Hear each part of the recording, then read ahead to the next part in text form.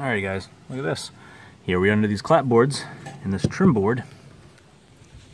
Alright, hey guys, Randy with Maine Wildlife Management. So uh, a lot of times when we're bidding a job, uh, we're trying to get bats out of a home. Uh, previously we showed you the holes over there where there was a, the bat netting. Um, the previous bat control company, or maybe it was the homeowner, the previous owners before these folks got this home.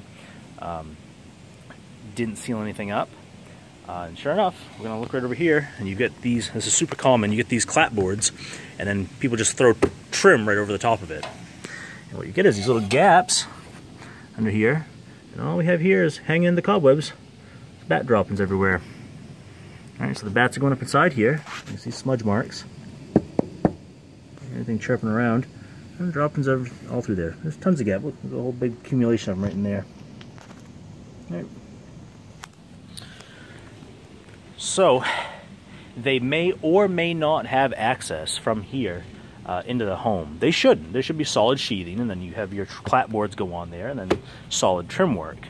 Um, but we can't 100% guarantee that there wasn't some um, gap in the sheathing or some oddball spot that the bats are enjoying.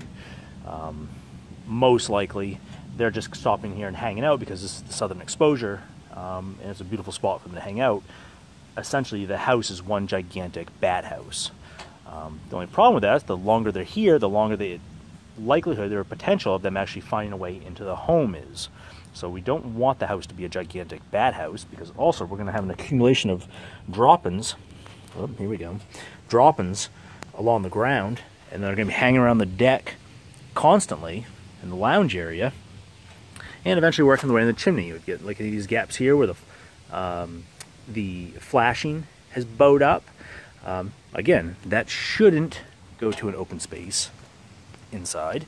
Um, however, if we can't verify it, we want to eliminate it completely so there's reducing any potential whatsoever. Um, that's the proper way to do a bat exclusion job is seal up anything that may be even a potential unless you can 100% identify that it's not an issue. Um, it's easier to do the job right the first time and then you're not having to call somebody else to come back out and do the job correctly like we are today. Fine here for flying squirrels and find all kinds of bat work. So anyway, if you've got clapboards with trim going over your clapboards, they need to be sealed up. Uh, we've got tons of bats up by that gable vent. All those clapboards are just full of bat droppings all the way down through the eaves, full of bat droppings. Um, they're just a beautiful, beautiful spot for bats to hang out. So that's it for now, guys. Make sure you hit the subscribe, subscribe button and stay tuned for more updates. Thanks a lot.